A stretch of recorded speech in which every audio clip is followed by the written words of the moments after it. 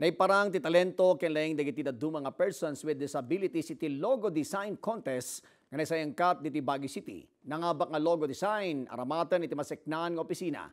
Detalye ipaay ni Florence Paitokan.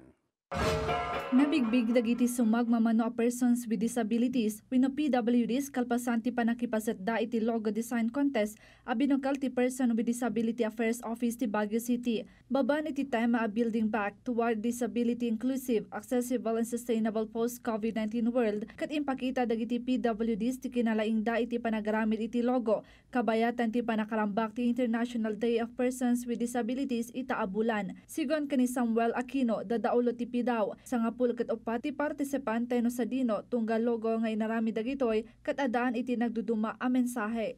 and we are really adopting uh, an, an emblem that represent the uh, the person with disability in the city.